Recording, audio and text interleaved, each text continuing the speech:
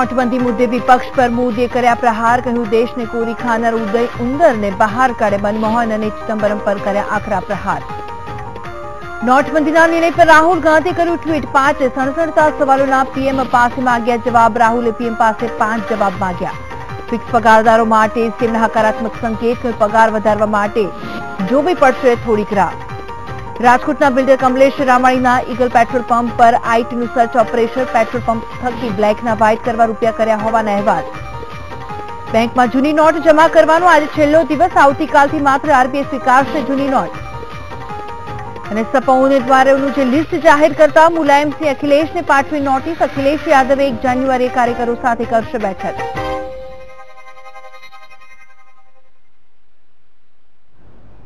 નમસ્કાર, હું છું સમાચારની શરૂઆત કરીશું મહત્વપૂર્ણ સમાચારથી. તો મહત્વના સમાચાર સામે આવી રહ્યા છે ગાંધીનગરથી. તો ગાંધીનગરમાં સીએમએ ફિક્સ પગાર ધારકોને હકારાત્મક સંકેતો આપ્યા છે. વિજય રૂપાણીએ જણાવ્યું છે, પગાર વધારા માટે થોડી રાહ જોવી પડશે. અને વધુમાં રૂપાણીએ કહ્યું છે, સરકાર કોઈનું શોષણ કરવામાં માનતી નથી અને કામ મુજબ સૌને વેતન મળે છે.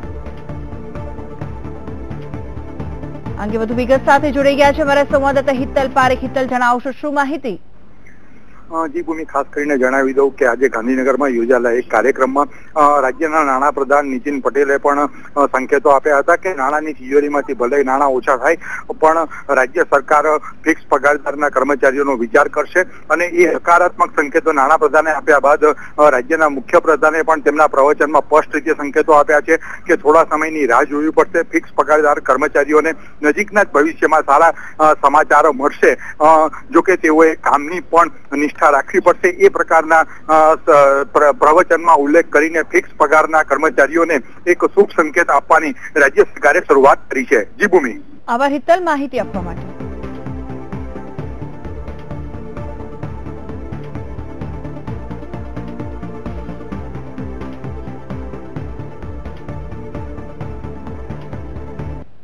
આગળ વાત કરીએ અને મહત્વપૂર્ણ સમાચારની, તો મહત્વના સમાચાર સામે આવી રહ્યા છે. રાજકોટની કમલેશ રામાણીના પેટ્રોલ પંપ પર દરોડા પાડવામાં આવ્યા છે. મહત્વપૂર્ણ બાબત રાજકોટથી સામે આવી રહી છે. રૂપિયા સો કરોડથી વધુની હેરાફેરીના જે રીતે સામે આવ્યું છે બહાર બિલ્ડર કમલેશ રામાણીને ત્યાં આઈટીએ સર્ચ ઓપરેશન હાથ ધર્યું છે. રાજકોટની આ ઘટના છે. આઈટી વિભાગ દ્વારા સર્ચ ઓપરેશન હાથ ધરવામાં આવ્યું. કમલેશ રામાણીના પેટ્રોલ પંપ પર દરોડા પાડવામાં આવ્યા છે અને આઈટી દ્વારા સર્ચ ઓપરેશન હાથ ધરવામાં આવ્યું છે અને આ સાથે જ વધુ વિગત સાથે જોડાઈ ગયા છે અમારા સંવાદદાતા કેવલ. દવે કેવલ જણાવશો, શું વિગત?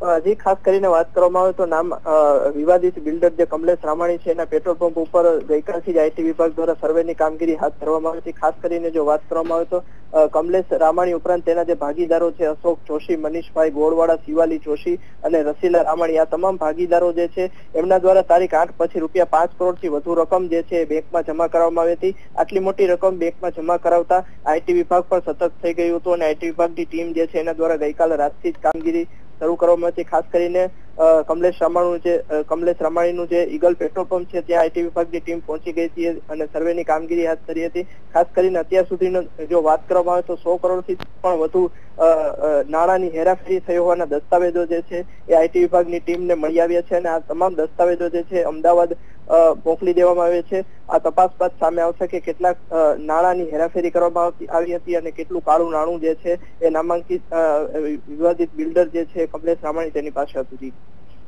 આભાર. જે રાજકોટમાં વિવાદિત બિલ્ડર કમલેશ રામાણીના ઈગલ પેટ્રોલ પંપ પર આઈટી વિભાગ દ્વારા સર્ચ ઓપરેશન હાથ ધરવામાં આવ્યું અને નોટબંધી બાદ કાળું નાણું બહાર લાવવા માટે ઇન્કમટેક્સ વિભાગ સતર્ક થઈ ગયું છે અને આઈટી વિભાગના અધિકારીઓ દ્વારા દરોડા પાડવાનું યથાવત રાખવામાં આવ્યું છે. પર દુષ્કર્મ પ્રકરણમાં બિલ્ડર કમલેશ રામાણીનું નામ સામે આવ્યું હતું. ત્યારે રાજકોટના મોટા ગણાતા, જે તે બિલ્ડર કમલેશ રામાણીના ઈગલ પેટ્રોલ પંપ પર આઈટી વિભાગ દ્વારા સર્ચ ઓપરેશન હાથ ધરવામાં આવ્યું છે.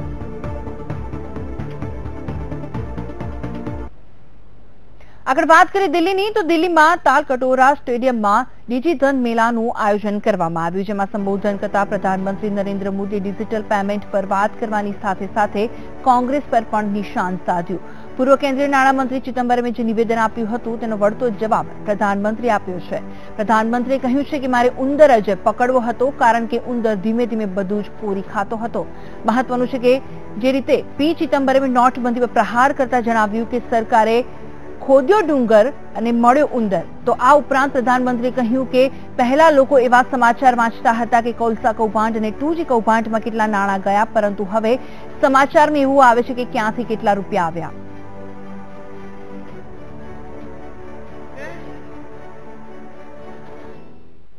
विश्व के सामने भारत की मुद्रा नीति के संबंध में एक नएपन से अपने विचारों को प्रस्तुत किया था और आज हम लोग जिस रिज़र्व बैंक की चर्चा करते हैं, आरबीआई की बात करते हैं, डॉक्टर बाबा साहब आंबेडकर ने जो थीसिस लिखी थी, उसी के प्रकाश में से विचार लेकर के ये रिज़र्व बैंक का जन्म हुआ था।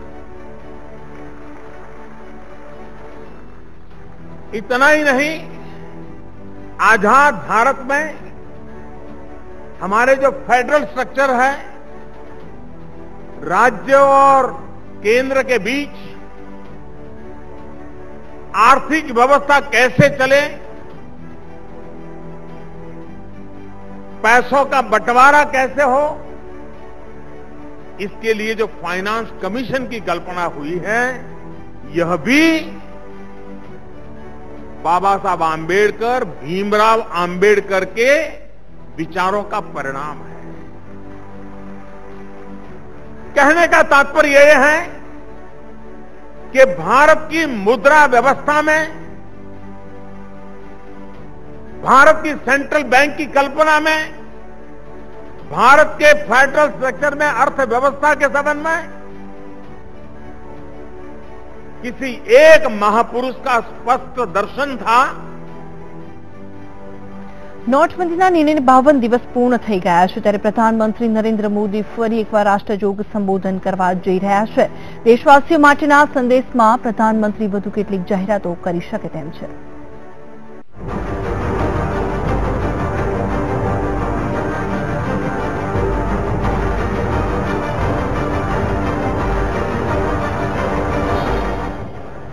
નોટબંધીના સરકારના નિર્ણયને અઠ્યાવીસ ડિસેમ્બરે પચાસ દિવસ પૂર્ણ થયા છે. સરકારના નિર્ણયના ત્રણ દિવસમાં જ ટીકાનો સામનો કરતા પ્રધાનમંત્રી નરેન્દ્ર મોદીએ લોકો પાસે પચાસ દિવસનો સમય માંગ્યો હતો અને પચાસ દિવસ બાદ આજે દિન આવશે તેવી બાહેંધરી આપી હતી.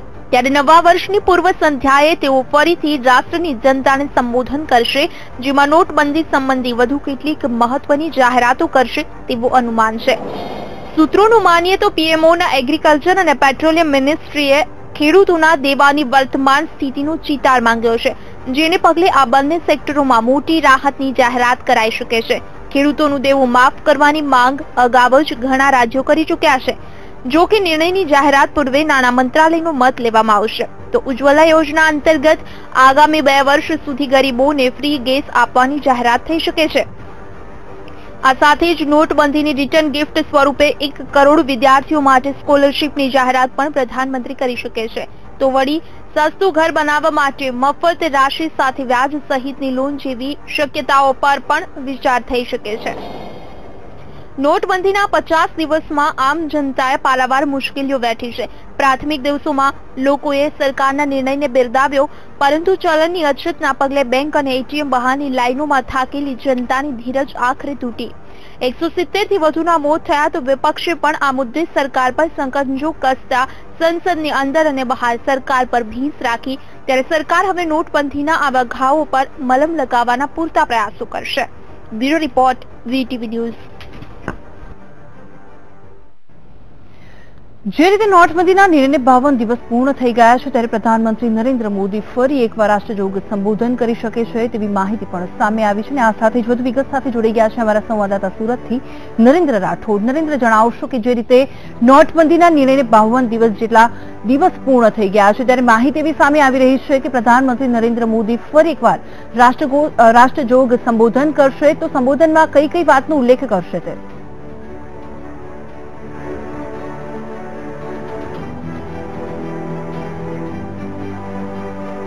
જ્યારે નોટબંધી કરવામાં આવી હતી ત્યારે રાષ્ટ્રજોગ સંબોધન નરેન્દ્ર મોદી દ્વારા કરવામાં આવ્યું હતું અને એ સંબોધન જ્યારે કરવામાં આવ્યું હતું અને એની અંદર પબ્લિક પાસે, દેશવાસીઓ પાસે પચાસ દિવસનો સમય માંગવામાં આવ્યો હતો.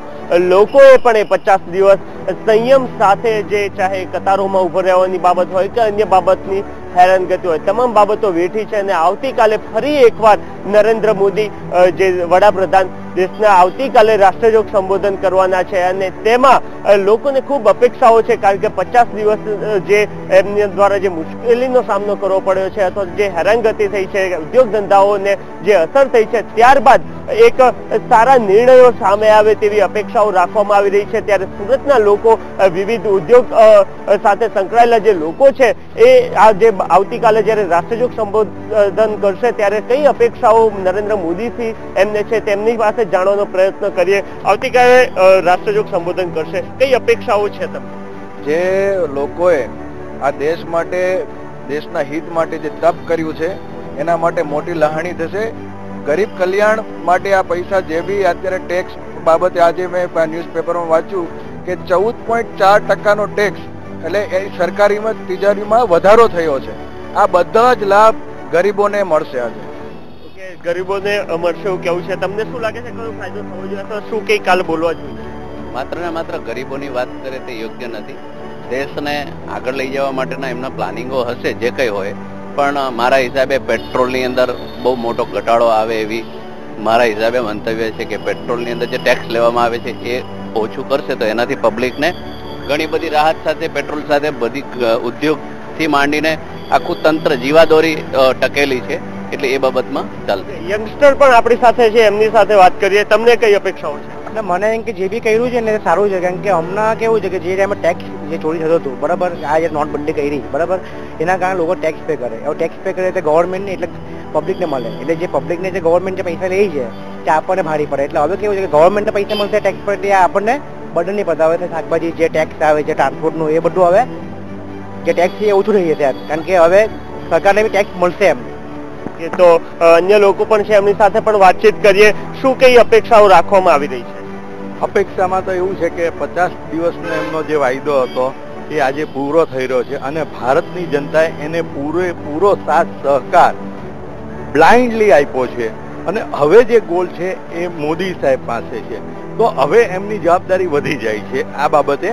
અને બીજું કે કાળું ધન જે છે, કાળા ધન બાબતે જે આપણે નોટ, આપણે ચલણમાંથી નાબૂદ કરી, પણ એની સાથે જે ભ્રષ્ટાચાર માટે તે દિવસે કદાચ આઠ તારીખે આઠ વાગે મોદી સાહેબ ભૂલી ગયા હોય, તો બીજે દિવસે રાત્રે કે ભાઈ આવતીકાલથી આપણી નોટ પાંચસો ને હજારની બંધ થાય છે. પણ આવતીકાલથી કોઈ રાજકારણી કે અધિકારી જો લાંચ લેતા પકડાય તો આજીવન કેદ. અથવા તો એની સંપત્તિ જપ્ત થાય તો કાળું નાણું જે છે ભ્રષ્ટાચારને લીધે પેદા થાય છે. જો ભ્રષ્ટાચાર નાબૂદ કરવો હોય તો ભ્રષ્ટાચારને નાબૂદ કરવા માટે સાથે સાથે આ બધા સ્ટેપ લેવા જરૂરી છે. એ તો ભ્રષ્ટાચારને નાબૂદ કરવાની પણ વાત થઈ રહી છે અન્ય લોકો પાસે જે જે મોદી સરકાર નિર્ણય લીધો છે એ બહુ સારો લીધો છે અને પચાસ દિવસનો ટાઈમ માંગ્યો અમે આપ્યો બી છે અને હવે જે અમારી અપેક્ષા છે હવે મોદી સરકાર અમને જે તકલીફ એ તકલીફ તો થઈ નથી એટલી બધી પણ હજી ટાઈમ માંગે તો હજી અમે ટાઈમ આપવા તૈયાર છે. દેશને એક પ્રગતિના વિકાસ માટે અમે દેશને હજી ટાઈમ આપવા માટે તૈયાર છે. હજી- મોદી સરકાર માંગે ટાઈમ તો હજી બી અમે દેશના માટે ટાઈમ આપવા તૈયાર છે તો અલગ અલગ બાબતો સામે આવી છે. ફરી એકવાર પૂછવાનો એમને પ્રયત્ન કરીએ કે વિદ્યાર્થીઓ માટે શું કઈ થવું જોઈએ? હોમ લોન સસ્તી થવી જોઈએ એવું કઈ? સો ટકાની વાત છે કે જ્યારે આટલા સરકારની તિજોરીમાં પૈસા આવ્યા છે તો બજેટની અંદર ખૂબ મોટી લાણીઓ થશે. ગરીબો માટે પણ થશે, વિદ્યાર્થીઓ માટે, યુવા માટે તો સાહેબને તો પહેલેથી જ એમની આશા છે, કેમ કે એમ કહે છે કે પાસઠ ટકા ધન આપણું યુવા છે, દેશનું. તો યુવાનો માટે ખૂબ મોટી રોજગાર પણ ઉત્પન્ન થશે, નવા નવા ઉદ્યોગો સ્થપાશે અને ખૂબ મોટી સંખ્યામાં લોકોને ફાયદો થશે.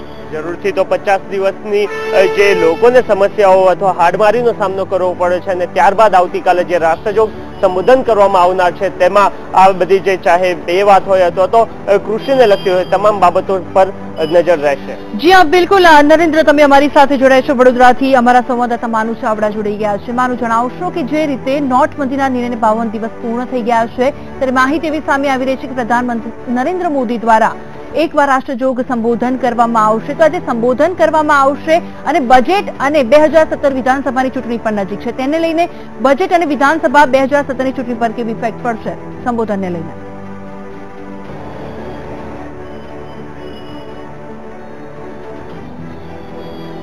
ભૂમિ નોટબંધીના પચાસ દિવસ પૂરા થયા. આઠ તારીખે જે વડાપ્રધાને રાષ્ટ્રજોગ સંદેશ આપેલો, એમાં અનેક વાયદાઓ પણ કર્યા હતા કે નોટબંધી જે દરમિયાન તમે તકલીફ ભોગવશો પણ એના આ ફાયદા થવાના છે.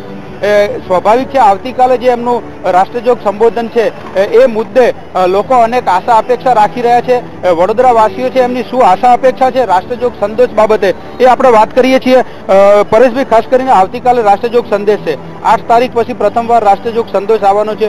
શું આશા છે તમને આજે પચાસ દિવસ લોકોએ સમસ્યા ભોગવી છે? ત્યારબાદ કાલની શું આશા છે તમને, વડાપ્રધાન? નરેન્દ્ર મોદીએ જે નોટબંધી ડિક્લેર કરી, ત્યાર પછી સભાઓમાં એમને કીધું હતું કે પચાસ દિવસની અંદર જો વ્યવસ્થા કમ્પ્લીટ ના થાય તો મને જે ચોરાહા પર બોલાવશો. ત્યાં સજા ભોગવવા માટે હું તૈયાર છું. એટલા માટે એમને જેટલો હિન્દુસ્તાનને બરબાદ કરવો હતો એટલો બરબાદ કરી મૂક્યો છે. હવે કશું બરબાદ કરવાનો બાકી રહેતું નથી, એટલે કાલે મીડિયા સામે રડશે અને કકડશે અને દેશની માફી માંગશે એવી જ અમને આશા છે. અને ડિક્લેર કરશે સીટીએ સીટી કે આ તારીખે હું આ ચોરાહા પર ઊભો રહીશ. તમારે જે સજા આપવી તે આપજો. એટલે વડોદરામાં અમને એમને વિનંતી છે કે તમે આવો ગાંધીનગર ગૃહ પાસે આવો, પછી અમે સજા ડિક્લેર કરીએ છીએ. એટલે અમને હાર્દિક આમંત્રણ છે કે તમે વડોદરામાં આવો. વડાપ્રધાન વિશે આપણે આ કહેવું ખરેખર એમનું જે કમિટમેન્ટ છે એ પાડે એ વાત સાચી છે. સાહેબ, કાલનું રાષ્ટ્રજોગ સંદેશ આવવાનો છે. શું આશા છે તમને એમના નિવેદનમાં, એમની વાતમાં? શું વાત હશે, શું હાલમાં તો વડાપ્રધાને એવું ડિક્લેરેશન કર્યું કે પચાસ દિવસ મારે પબ્લિક પાસે લેવા છે અને એક પણ દિવસ મારા માટે છે. એટલે અત્યારે આપણે ભારત દેશ એક સ્થિર પર છે. જો આમ જાય તો ડૂબી જશે અને આમ જાય તો આગળ આવશે. હવે વડાપ્રધાન કઈ રીતે નક્કી કરે છે? બેંકો પાસે પુષ્કળ પૈસા આવ્યા છે. હવે એટલું બધું કાળું નાનું આવ્યું છે કે દેશ માટે આજે એટલું બધું સમૃદ્ધ થઈ શકે છે. એમને એવું હવે બેંકની લોનો ઈઝી કરી દેવી જોઈએ. ઝીરો પર્સન્ટે લોકોને પૈસા આલો તો જ કહેવાય કે કાળું નાનું બહાર નીકળ્યું અને દેશની આર્થિક સત્તા ઊભી થાય. આજે હાલમાં જોવા જઈએ તો ફક્ત શાકભાજી સિવાય કોઈના ભાવ નથી ડાઉન થયા. પેટ્રોલના ભાવ આપતા છે. એક બાજુ કહે છે પેટ્રોલના ભાવ વીસ રૂપિયા થશે. તો વીસ રૂપિયા ક્યારે થશે? જો કાલના નિવેદન પરથી એવું લાગે છે કે કંઈક ને કંઈક દેશ માટે સારું થાય અને કંઈક છોકરાઓ માટે આગળ પડતું એ લોનની સુવિધા સારી સારી કરે, તો જ મને એવું લાગે છે કે દેશને એક શિક્ષા આવશે ને તો દેશ આખો ડૂબી જશે. એના પર નરેન્દ્રભાઈએ જે કીધું, એકાવનનો દિવસ, તો એકાવન નો દિવસ માટે એમના માટે ખતરનાક રૂપ છે. અને જો એ ખતરનાક રૂપ એમને સાબિત કરવું હોય, તો એકાવન ના દિવસે એટલું બધું રિલેક્સેશન કરવું પડે. સોનાનો ભાવ આજે પચીસ હજાર છે, એની જગ્યાએ એમને વીસ હજાર કરી દેવો પડે. પેટ્રોલનો ભાવ આટલો બધો છે, એની જગ્યાએ એમને પંદરથી વીસ રૂપિયાની આશા આવે, તો દેશને એક જાગૃતિ અને સમૃદ્ધાની વાત થઈ શકશે. દરેકના વસ્તુના ભાવ ઘટીને આવે, જે લોકોને મોંઘવારી નડી રહી છે, એમાં રાહત થાય એવી કાલ જાહેરાત થાય. સાહેબ, કાલે રાષ્ટ્રજોગ સંદેશ છે. શું આજે અપેક્ષા રાખો છો? કાલે એમનું શું સંદેશ હશે? શું તમને અપેક્ષા છે આજે? જે છેલ્લા પચાસ દિવસથી પબ્લિકે ભોગવ્યું છે, એ ખરેખર બહુ જ ખરાબ છે. દરેક ધંધા અને વ્યવસાય પર બહુ જ ખરાબ અસર પડી છે. માનનીય નરેન્દ્રભાઈ મોદીએ જે રીતે પ્રજાને આશ્વાસન આપ્યું હતું કે, ભાઈ, તમે મને એ આપો, તમે સુઈ જાઓ, હું જાગીશ તમારી માટે. પણ બહુ જ રિસ્પેક્ટફુલી કહેવું પડે કે ભાઈ બહુ જ લોકોએ જાગરણ કર્યું. કેટલાય લોકોએ પોતાના જાન ગુમાવ્યા છે પોતાની રોજગારી ગુમાવી છે અને આજની તારીખે પણ દેશમાં ભારે મંદીનું મોજું છે.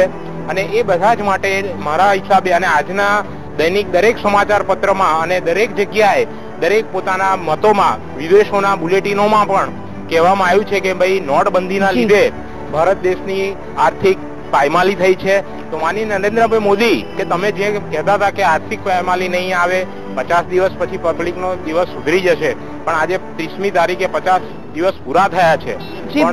કોઈ સુધારો આવ્યો નથી. અમે એક એડવોકેટના વ્યવસાય સાથે જોડાયેલા છીએ. અમે છેલ્લા પચાસ દિવસથી જ્યારથી નોટબંધી આવી છે ત્યારથી પુષ્કળ ભારે મંદી છે. આજે કોર્ટની અંદર એવી પરિસ્થિતિ છે કે માણસ પાસે પૈસા આપવા છે પોતાનું કામ કરાવવું છે પણ પોતાની પાસે પૈસા નથી. ચોવીસ હજાર રૂપિયા જે માસિક ખર્ચ છે એ આજે શહેરમાં અને મેટ્રો સિટીઝમાં કે ભાઈ ચોવીસ હજાર રૂપિયા તમે ઉપાડી શકો છો અને એની સામે તમારો કામ ધંધો કરી શકો છો. એ બિલકુલ વ્યાજબી વાત નથી ગળે ઉતરે એવી વાત નથી. આજે દૈનિક ખર્ચો જુઓ તમે તો કોઈ વસ્તુના ભાવ ગગડ્યા નથી. શાકભાજી લોકો બજારમાં ફેંકી દે છે પણ વેપારીઓ એને ઉચકતા નથી. રોજબરોજની વસ્તુઓ તમે જુઓ કે ભાઈ તેલ છે, ઘી છે, ખાંડ છે, એના ભાવ તો એટલા ને એટલા જ રહે છે. પેટ્રોલના સિત્તેર રૂપિયાની ઉપર જતું રહ્યું છે. તો આજે આમ આદમીને કે જેમણે આજે એમને વડોદરાની પ્રજાએ એમને ખોબે ને ખોબે વોટ આપીને વડાપ્રધાન સુધી એમને લઈ ગયા છે. પણ મને નથી લાગતું અને આજ- આજની પ્રજાની જોક જુઓ તમે, જેટલા બી અમારા વિદ્વાન વ્યક્તિ, વ્યક્તિઓ સાથે આ કામ ધંધા સાથે જોડાયેલા છે, એ કોઈનો મત કોઈ ખુલીને બહાર આવતું નથી, કોઈ બોલતું નથી. જે વાત છે કે જે પચાસ દિવસ પૂરા થયા છે, જે રીતે વાયદો હતો કે ભાવ ઘટશે, સોના ચાંદીમાં ભાવ ઘટાડો આવશે મકાનની જે લોન છે એમાં ઘટાડો થશે, એટલે ક્યાંક ને ક્યાંક લોકોમાં આ રહી આશા છે કે આવી ગઈ, આવતીકાલે છે, એમના રાષ્ટ્રજોગ સંદેશની અંદર આ રહી જાહેરાત થાય. પરંતુ લોકોને હાલ જે મુશ્કેલીના પચાસ દિવસ અનુભવ્યા છે, એ જોતા લોકોને લાગે છે કે કશું ફરક આવવાનો નથી. તેમ છતાં લોકોને આશા છે કે વડાપ્રધાનનું આવતીકાલનું જે નિવેદન છે, એની અંદર તમામ જાહેરાતો થાય અને એમને જે આજથી પચાસ દિવસ પહેલા જે વાયદો આપ્યો હતો એ વાયદા પૂર્ણ કરે એવી લોકો આશા રાખી રહ્યા છે. બિલકુલ માનવું અને નરેન્દ્ર આપનો ખૂબ ખૂબ આભાર માહિતી આપવા માટે અને આગળ પણ જે રીતે જનતાને નજર છે જે રીતે નરેન્દ્ર મોદી કાલે શું સંબોધન કરવાના છે તે તો નરેન્દ્ર મોદી શું સંબોધન કરે છે તેના ઉપર જ નજર રહેશે. આગળ પણ આ અંગે ચર્ચા વિચારણા કરીશું પણ હાલ સમય થઈ ગયો છે બ્રેક લેવાનું. લઈશું બ્રેક. બ્રેક આગળ વાત કરી મહત્વપૂર્ણ સમાચારની. તો મહત્વના સમાચાર સામે આવી રહ્યા છે. જે રીતે અમદાવાદમાં બુકી જીતુ થરાદની ધરપકડ કરવામાં આવી છે. અમદાવાદની ઘટના છે. જીતુ થરાદની ધરપકડ કરવામાં આવી છે. પારડીના સ્વપ્નિક કોમ્પ્લેક્ષમાંથી તેની ધરપકડ કરવામાં આવી છે. તેવી વિગત સામે આવી રહી છે. ક્રાઇમ બ્રાન્ચે રેડ કરી અને ત્યારબાદ તેની ધરપકડ કરવામાં આવી. ક્રાઇમ બ્રાન્ચ દ્વારા જે સફળતા હાથ લાગી છે, ગુજરાતના મોટા બુકીઓમાં સ્થાન ધરાવે છે. જીતુ થરાદ અને જીતુ થરાદની ધરપકડ કરવામાં આવી છે. અન્ય અઢાર સાગરીતોની પણ ધરપકડ કરવામાં આવી છે. આ અંગે વધુ વિગત સાથે જોડાઈ ગયા છે અમારા સંવાદદાતા મયુર. મયુર, જણાવશો શું વિગત? બિલકુલ ભૂમિ, જો વાત કરીએ તો જીતુ દરાજ જે સટ્ટામાં ખૂબ મોટું નામ ધરાવે છે તેની office Paldi Parimal under underbridge પાસે આવેલી સુવિધા કોમ્પ્લેક્સમાં છે. ત્યાં આગળ સાયબર ક્રાઇમ દ્વારા જે રેડ પાડવામાં આવી હતી. સાયબર ક્રાઇમને માહિતી મળી હતી કે જીતુ દરાજ જે આજે અહીંયા આવવાનો છે. એ માહિતીના આધારે અહીંયા રેડ કરાઈ હતી. જેમાં સાઉથ આફ્રિકાની કાઉન્ટી ક્રિકેટ મેચ આવી છે. તેની અંદર ડબ્બા ટ્રેડિંગ રમાવાની જે વાત સામે હતી. સાયબર ક્રાઇમ દ્વારા કુલ અઢાર લોકોની જે અહીંયા આગળ અટકાયત કરવામાં આવી છે. તદુપરાંત ડબ્બા ટ્રેડિંગ ના સટ્ટાની અંદર જે વસ્તુઓનો ઉપયોગ કરવામાં આવ્યો છે, લેપટોપ વગેરે વસ્તુઓ જે ક્રાઇમ બ્રાન્ચ દ્વારા રોકડ રૂપિયા સહિત કબજે લેવામાં આવ્યું છે. ખાસ જો વાત કરવામાં આવે તો જીતુ થરાદ તે સિવાય થોડા દિવસ પહેલા જીતુ થરાદના મેનેજરે એક મિલન ઠક્કર નામના વ્યક્તિ સામે અપહરણની ફરિયાદ નોંધાઈ છે. તે મિલન ઠક્કરની બી જે ક્રાઇમ બ્રાન્ચે અહીંયા આગળ ડબ્બા ટ્રેનિંગમાં ધરપકડ કરવામાં આવી છે. હાલ અત્યારે હાલ ક્રાઇમ બ્રાન્ચ દ્વારા જે સર્ચ ઓપરેશન ચાલી રહ્યું છે તેની જે બંને ઓફિસ આવી છે બંને ઓફિસમાં હાલ ક્રાઇમ બ્રાન્ચની ટીમો સર્ચ ઓપરેશન હાથ ધરવામાં આવેલું છે. આભાર મયુર માહિતી આપવા માટે.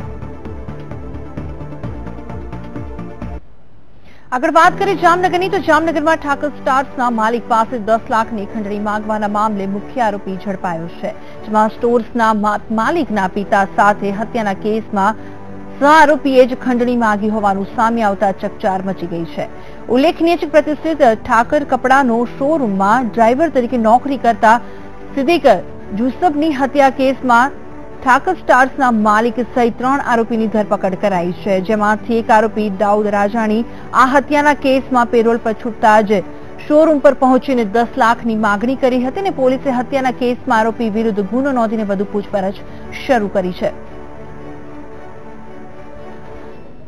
બાર બે હજાર સોળના રોજ ફરિયાદી ધ્રુવભાઈ, પ્રવીણભાઈ ઠાકર કરીને રૂબરૂમાં ફરિયાદ આવેલી કે ઇમરાન દાઉદિયા કરીને એક ઇસમ છે એમણે એમને દુકાનમાં આવી અને દસ લાખ રૂપિયાની માંગણી કરી અને જો નહીં આપે, તો જોઈ લેશ. એવી કરીને ફરિયાદ રૂબરૂ આપેલી. અને આ ફરિયાદ અમારો, અમારા તરફ ડેપ્યુટ થતાં અમે તપાસ સંભાળી. તપાસમાં જાણવા મળેલ કે આ ઇમરાન દાઉદિયા છે, એ પેરોલ ફરલો ઉપર છે અને સદરવ સિટી બીના ત્રણસો બે ચકચારી કેસ હતો, સિદ્દીક મર્ડર કેસ. એનો આરોપી છે. તો આ સાથે સમાચારમાં હાલ બસ. આટલું મને રજા આપશો. નમસ્કાર.